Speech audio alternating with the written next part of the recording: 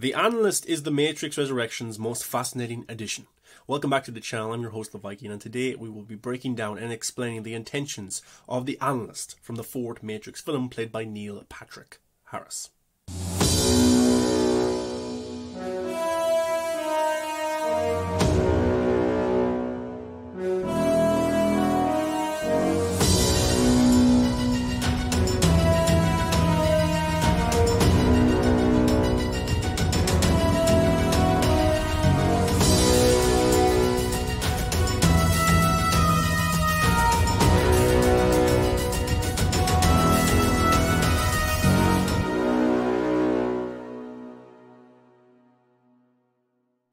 I think Neil Patrick Harris did a fantastic job as the analyst in The Matrix Resurrections, being the analyst and therapist for Neo, trapping him in this new Matrix to feed off his energy.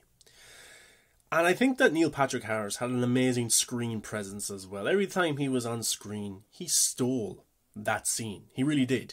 And you find out later in the movie what his intentions were with Neo, with Trinity, and this new simulation, which was absolutely fascinating. He wasn't a villain that could fight toe to toe with Neo like Agent Smith did in the original trilogy. And then again, the architect, the original kind of analyst of the Matrix, he was very stubborn, he was very cold, he didn't show any emotion whatsoever. He didn't really like humanity. But Neil Patrick Harris's character, the analyst, he loved studying humans. And maybe that's why he was a therapist, because as a therapist, you can really get into people's feelings, their thoughts, what makes them drive, what makes them sad, what makes them angry, their happiest moments as a therapist. And he uses this platform to understand Neo, to understand humanity, what they want, what they crave. That's why he builds social media. And everyone's stuck on their phones when you see Neo in the elevator Neo is depressed at this world he is in. Even he is up late at night on his phone attached to it. But there's an interesting article from Polygon.com that talks about Neil Patrick Harris's portrayal as the analyst, what his plan was, and it's explained as well. So, this, of course, will have spoilers for The Matrix Resurrections. And don't forget to subscribe, guys. Give a thumbs up to the channel if you like the content. Check out my Matrix Resurrections review, my Matrix Resurrections explained video, and also Matrix 5 could be in the works from Warner Brothers, but Lana Wachowski may not want to return. And also, if you can check out yesterday's video where I talk about the Matrix Resurrections is actually about trauma. Okay. Even after four Matrix movies and a number of spin off stories, viewers still don't know too much about the machines, the artificially intelligent antagonists of the series. Most of our peeks into the inner workings of the AI society comes from what we learn via the programs which inhabit and assert some measure of control over the Matrix. As far as what fans of the original trilogy know, two of the oldest programs that exist are the Oracle, an intuitive program who helped to create the version of the Matrix seen throughout the films, and the Architect, the program originally created and tasked by the machines to create the Matrix itself. The Analyst, the antagonist of Matrix Resurrections, portrayed by Neil Patrick Harris, introduces a new wrinkle into the evolving power dynamics behind the creation of the Matrix and its continued hold over human and machine kind. The Architect was a program originally created by the machines to create a functioning version of the Matrix. Unable to do so, the Architect was assisted by the Oracle, a program who helped develop a version of the Matrix that would keep humanity sedated at the cost of a recurring human anomaly known as the One and a fraction of the human population who would learn of the system's true nature, escape, and subsequently rebel against it. At the end of the Matrix Revolutions, Neo brokers a truce between the machines and the humans in exchange for defeating Agent Smith a mutual existential threat that threatened the integrity of the Matrix, and with it, the survival of both humanity and the machines. After defeating Smith, Neo's body is carried away into the Machine City. The Matrix Resurrections takes place 60 years after the events of the Matrix Revolutions, with Neo now living out his life as a video game programmer named Thomas Anderson while experiencing strange, uncanny visions of his life during the Matrix trilogy. Turns out that the program known as the Analyst was present when Neo sacrificed his own life to defeat Smith, and was instrumental in both Neo and Trinity's resurrection.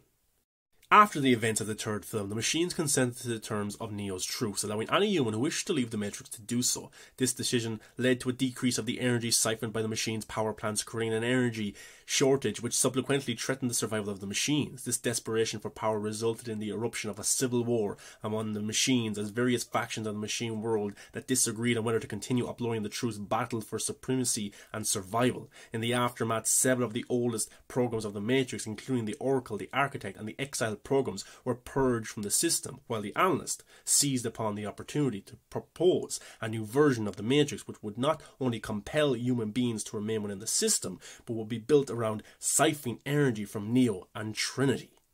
When Neo's corpse was taken away, the analyst set about attempting to rebuild both his and Trinity's bodies in order to access the source code of the One. After reconstructing them, he discovered that Neo and Trinity exerted vast amounts of energy whenever they were in close proximity together. Delighted at this discovery, the analysts constructed a power plant specifically to contain them, Neo and Trinity, that was separate from those of the ones used to contain the rest of humanity, placing them in adjacent pods so as to safely siphon their energy without risking an overload. On top of all that, the analysts created a new version of the Matrix, one which preyed on the emotions of humans connected to it to ensnare them in the state of dependency. Though not explicitly stated, it's strongly implied that social media platforms exist in this incarnation of the Matrix and serve a vital role in keeping the human population sedated and reluctant to leave the Matrix. With the success of these new developments, the analyst effectively became the new architect of the Matrix, keeping a close eye on Neo so as to keep him producing energy while attempting to unravel why the anomaly of the One continues to occur. Presumably, to find a way to generate yet even more power.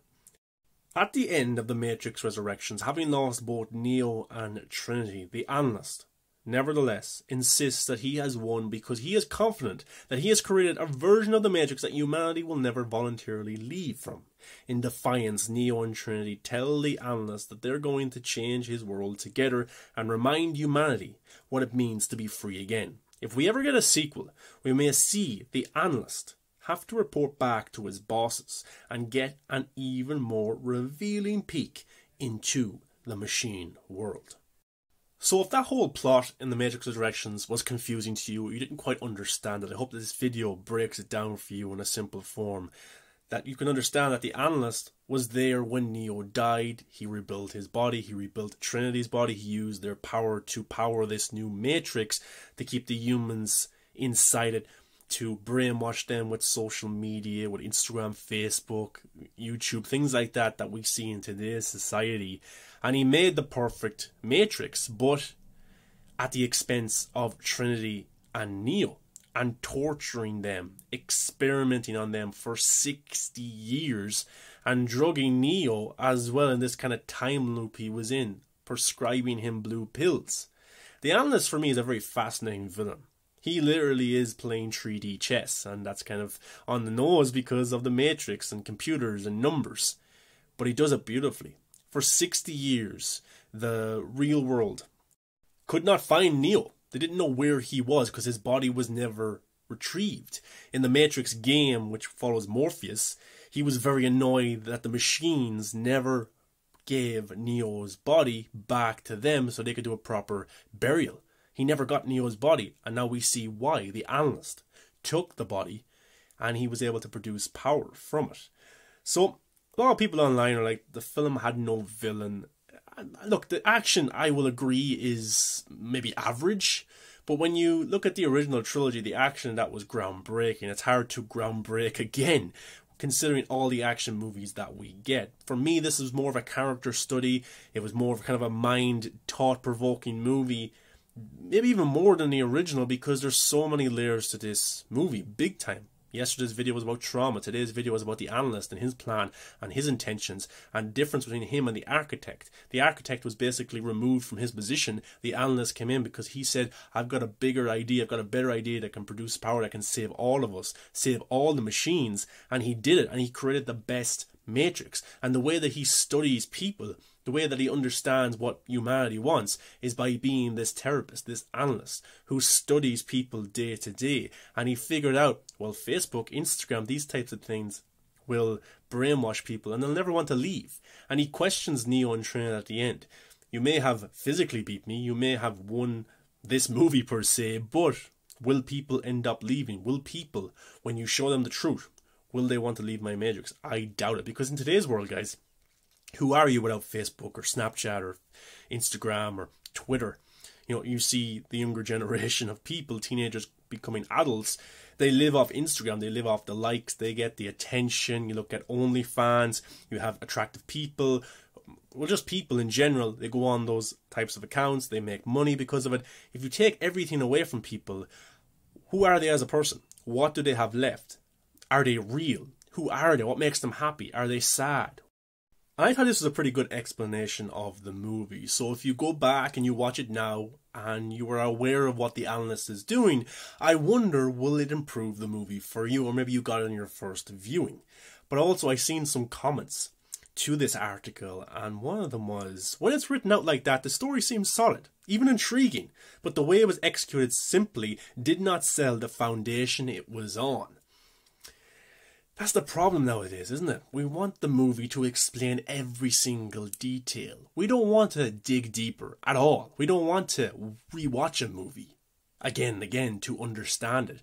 It needs to tell us everything now, or it's not a good movie. Another comment was, I agree. Both Wachowski sisters always have some great ideas, but their execution isn't always the best. Still, I thought the movie was fine. As far as unnecessary sequels go, this wasn't bad at all. So I just I just think this film puts a mirror up to the big franchises like Terminator, like Spider Man, like Ghostbusters. When those movies run on nostalgia, and then you get The Matrix Resurrections, which is just completely different to it. It doesn't offer you what made the first or second or third one great. It actually takes those away. It simplifies them into something a little bit more subtle. I enjoy a movie that has a deeper plot to it, that has new things every time you watch it. I think The Matrix Resurrections is definitely that type of movie. Now, some people like this, some people hated it. That's okay. I understand that.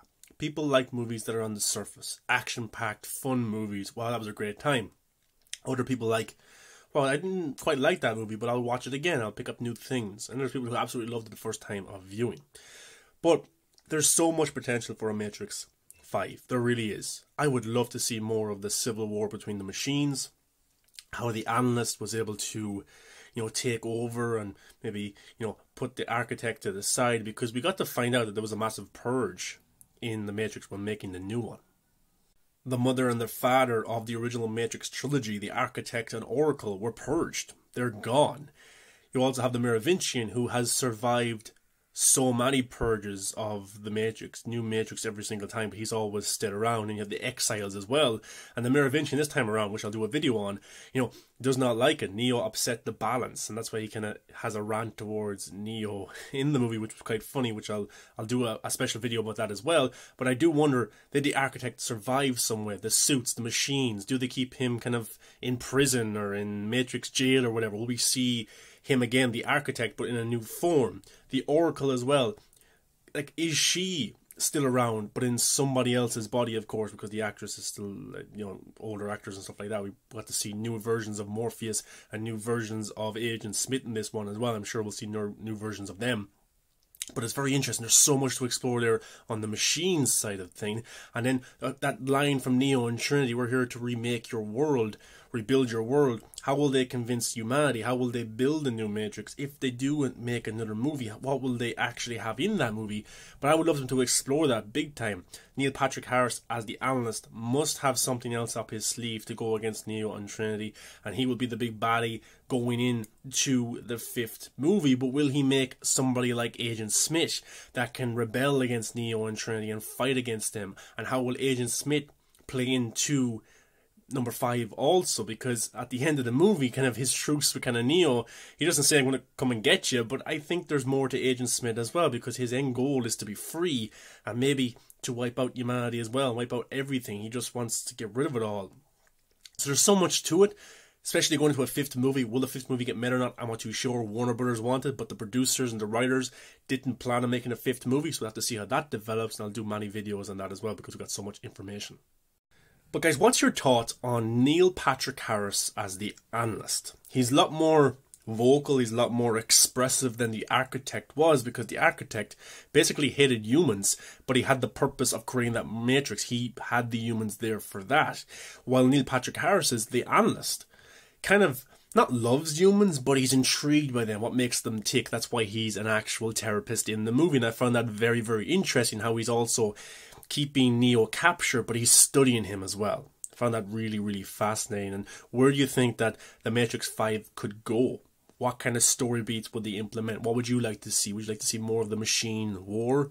The analyst now having to go back to the drawing board per se? What kind of plan will he have? Let me know below, guys. Really interested to hear your thoughts.